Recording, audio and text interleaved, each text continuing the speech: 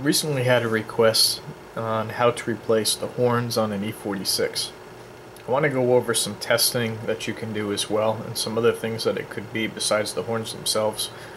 Most of the time it is actually the horns, but you will want to check a couple of fuses as well.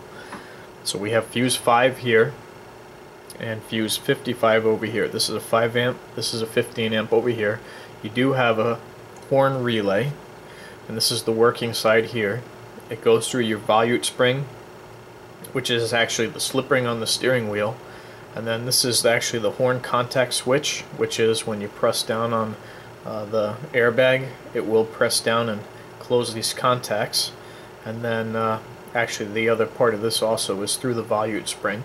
So you could have a problem with the horn contact or a problem with the slip ring, which would prevent the relay from activating. And you should have power to your relay and when this is activated the relay closes and it provides power to the horns. Now the easiest way to check this would be to disconnect the horns and you have pin 1 and 2 and pin 1 and 2. There's two different wiring diagrams by the way so I'm going to go over both. So you could put a voltmeter on pin 1 positive, pin 2 negative, press your horn inside the vehicle and you should see voltage appear on your connector. And that's how you can diagnose whether this is a voltage problem to the horn or if it's a horn, the horn itself. Also, if you have one working horn, you can swap it from side to side. Oops. Now this is the other wiring di diagram, and they have a couple things in common and a couple things that are different. The fuses are actually the same, so you want to check fuse 5 which is a 5 amp and fuse 55. Both of these are going to be in the glove box. They still have that same relay. Um, I think the pins here are different on this side. For this, it's still going to go through the volute spring. And if I go down, there's the horn switch, and there's the volute spring. And over here on the right are the horns.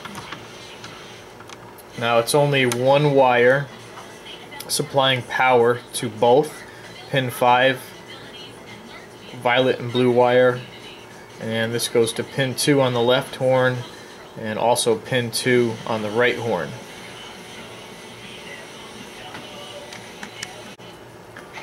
So again, you'd want to check for voltage here at each horn between the two pins while somebody holds down the horn switch at the, the steering wheel itself.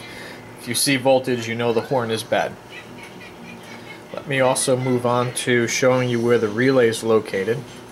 Now it would be nice if you could actually you could actually ground the relay right here which is the working side and that would close that and you could check power but the relay itself is not easy to get to so let me pull up a picture of the relay location so it's actually behind the glove box. The glove box isn't super hard to remove, but it is a bit of a process when most likely it is the horns that are bad. But just in case you need to go to the relay for testing, that's going to be the relay right there, behind the glove box. Let me see, I had a couple other pictures of the horn. This is the left hand horn. They're actually located in the left hand front wheel housing and then we also have the right horn, which is located in the right wheel housing. So you can see that you're going to have to access this area. This is the receiver dryer, I believe, for the AC system. And there, here's our horn right here.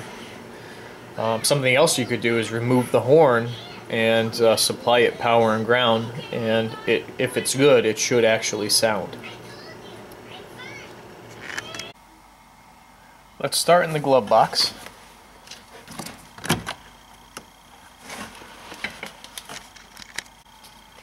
So you can have two tabs.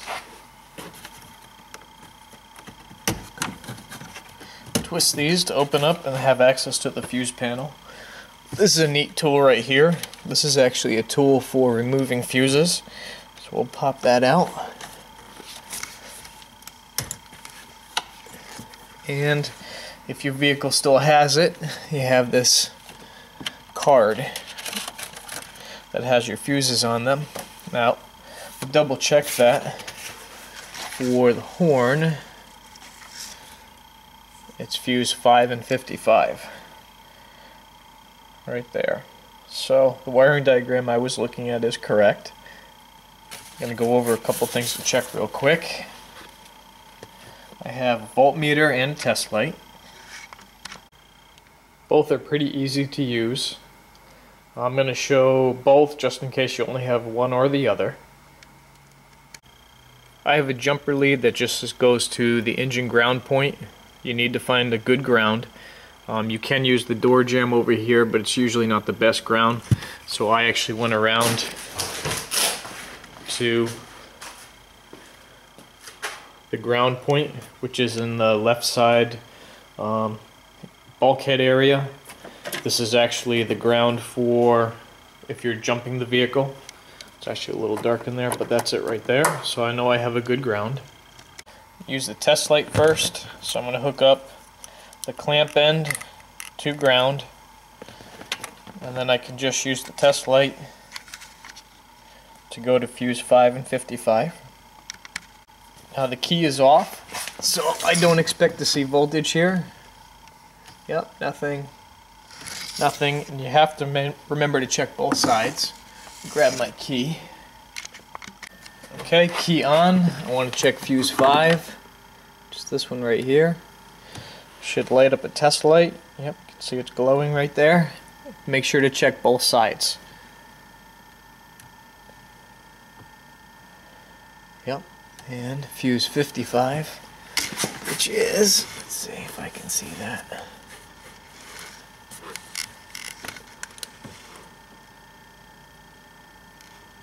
Fifty-five right there, right here, right next to that thirty.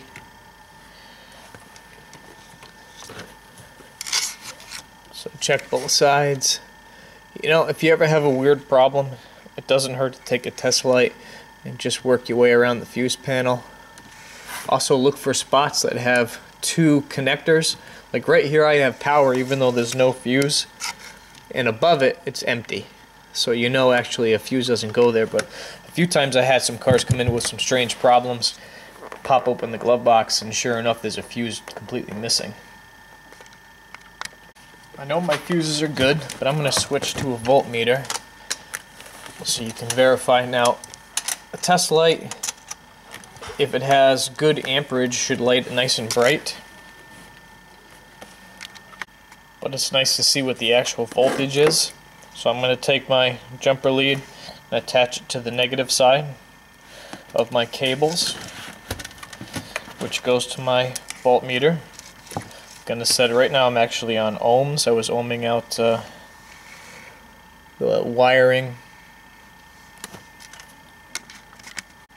for the outside temp sensor yesterday.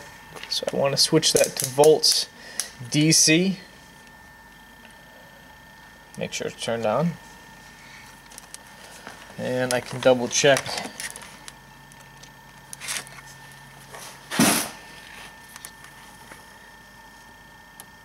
On each side 11.64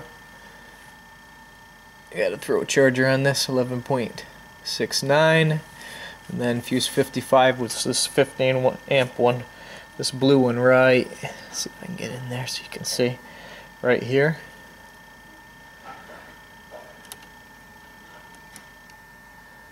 Eleven point six eight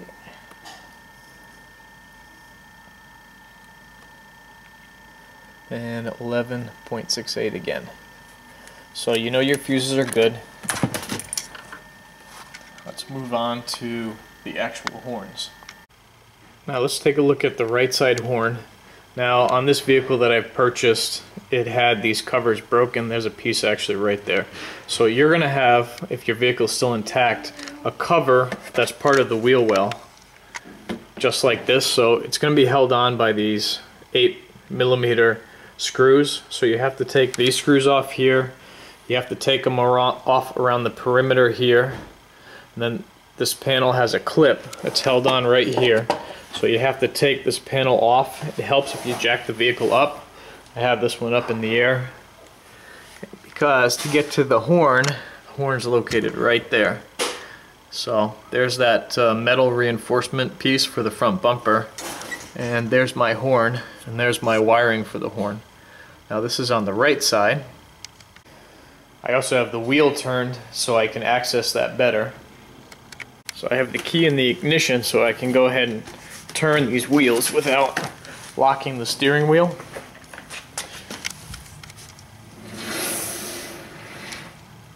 Let's take a look at the horn on this side. There it is tucked up in that same area. Is that held on by a zip tie? no, no, this still has a bracket there. I think the bumper's held on by a zip tie. Obviously I didn't buy this vehicle in the best of shape, but uh, it's uh, been a great vehicle for making videos to help people to uh, fix their E46 3 Series. So I can, can actually get to the connector pretty well on this one. There's my connector right there. Well, you know, I have not even checked if the horn works. So let's find out. I'm kind of curious. When I press on this, basically we would create the contact here, which would then, um, through the volute spring, um, activate the relay, which would supply power to the horns. Oh, sounds like, I don't know if it sounds like only one of them's going off or, or if it's both. So it does work. So we should see voltage there when I press on this.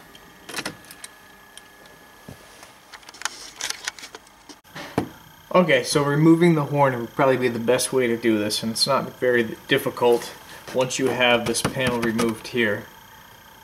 It's just held on by this one 10 millimeter nut right there. So I'm just to go ahead and take that off. I'm actually not to disconnect the wiring on it. I'm to leave that connected.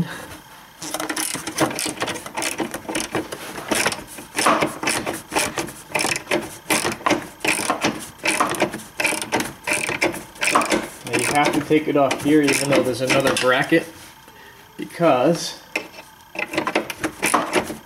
that other bracket is what mounts the horn to this frame and you really can't get to that other side without taking the bumper off and that reinforcement piece. Okay, so I got the nut off there.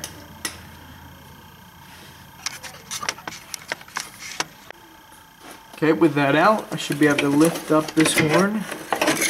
There it is. And finagle it out. Make testing a lot easier. In most, most cases you can replace it. Oop, my connector came right off. Push this out. Okay. Here's the horn right here. You can see it's held on by that bracket. And here's the back side.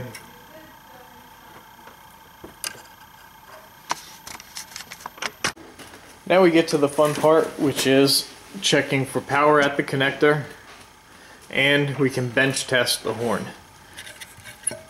Let's bench test the horn because it'll be more fun. Inside here is actually going to be two male pins. Um, you can carefully use like two wires and you know make sure they don't touch together. You're going to need power and ground to bench test this. Um, so I could use the jump terminal up under the engine compartment. I have this airbag test cable that I use quite often. This is, if you're curious, um, something you could purchase from BMW. Um, it's an airbag repair harness. I'm not sure if I can get the part number here. Um, geez, I think I only have part of a part number. 209, nope, let's try, I think 838-6329, but this is what it would look like, and it usually comes with both male side pins and female side pins. I do have to strip a couple of wires off, or the sheathing off the back of this, because I did cut it the other day to use one side of it by itself. So let me strip this back a little bit, so I can jump this.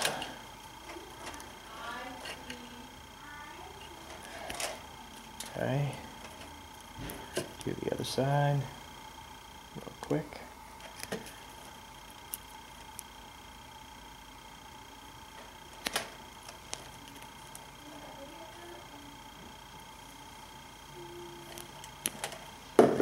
Okay, so now I'm going to take the two female side pins and I'm going to put them into the connector end if I can see in there, I have to get another flashlight. Alright, so using a light, usually can see in there so that you can line up these pins. They're going to slide right over the connector, or right over the pin rather.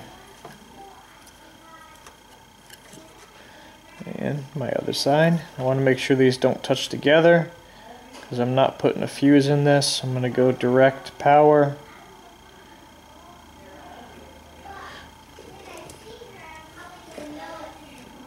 Make sure these stay separate. Oops. Oh man. Me get myself situated here. So I'm to have to hook that up. Power and ground, too much wiring. There's my power and ground. Alright, I'm ready to bench test this now. I did tape this one right here so that it made better contact. This one's resting right inside on those two pins. Here's the horn. This is the jump terminal right here. So I have the other two ends stripped out. It actually doesn't really matter which way I go with this. So I'm going to go to positive and then right here on the strut tower And this is how I can check it. And this is just an easy way to verify if the horn does actually work. This is the wiring for the horn. One wire is brown and I can't tell in the light what the other one is, but this is the other end of that uh, airbag wiring harness test kit with the male side pins which this just makes a really great way to do some quick tests because these usually fit in most connectors just like this and then I have the other end just open so I have two pins in here and my wiring comes up to my voltmeter and I just have the ends wrapped around the voltmeter like so Turn my voltmeter on. And I'm not going to see anything, obviously, until the switch is, is actually pressed. You got it, bud. All right, so I enlisted the help of my son. Do you want to say hi? To everybody who's in the driver's seat. And uh, Tommy's three, and he's going to go ahead and press the horn switch for me, and we're going to see if we can see some voltage here. Go ahead and press it and hold it. Make it beep. Whoa, I saw 14 volts there. Press it again. Nice. So you're verifying the horn switch works through the relay all the way through the wiring to verify that your horn is actually the one that is the the horn is the one that's the problem. Now, as you can see, the other horn is sounding, so it actually both horns is uh, actually are going off on my vehicle. I thought maybe one was bad. Um, they just sound a little weak. But uh, that's basically it. On the other side is going to be the same testing. You have that, uh, that 10 millimeter nut that's holding on the horn. If you do have to replace the horn, I'm pretty sure that this bracket is not going to come with it. So you do have to swap this over. This is a 13 millimeter. So take note of where it sits in location to the connector because I don't think there's a locator on this. So there it is right there, at least for the right side. this breaks free.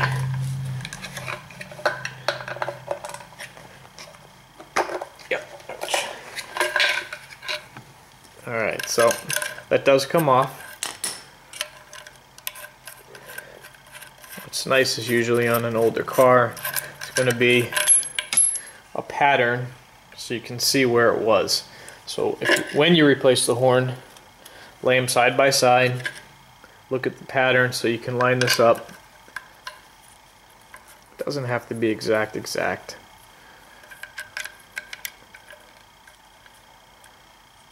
But you want it close. That 13 back on.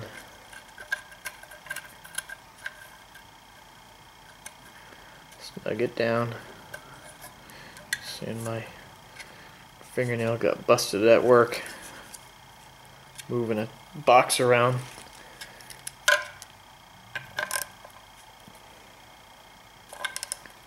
There we go. So, snug that down. Make sure it's good and tight. Mm, I off a little bit, but I think it should go in fine. Installing it. Slide it in.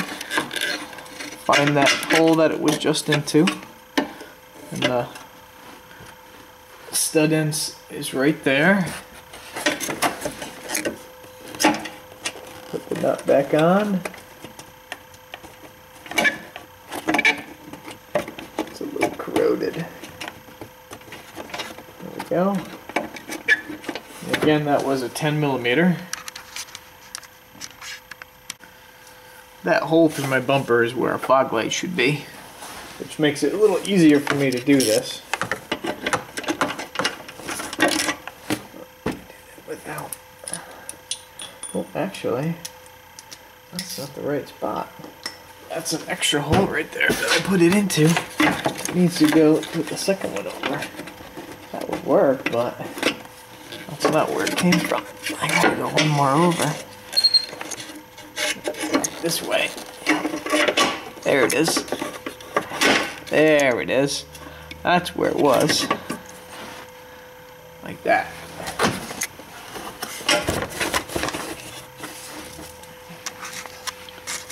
Get that nut on there now. Had to move the recorder over. I guess it was right in the way. Right in there. The right way, yeah. So you have to put that bracket on first and then go ahead and snug it down.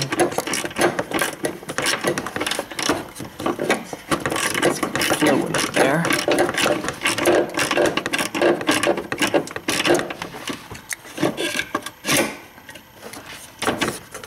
when you get close to it being snug, you can position it.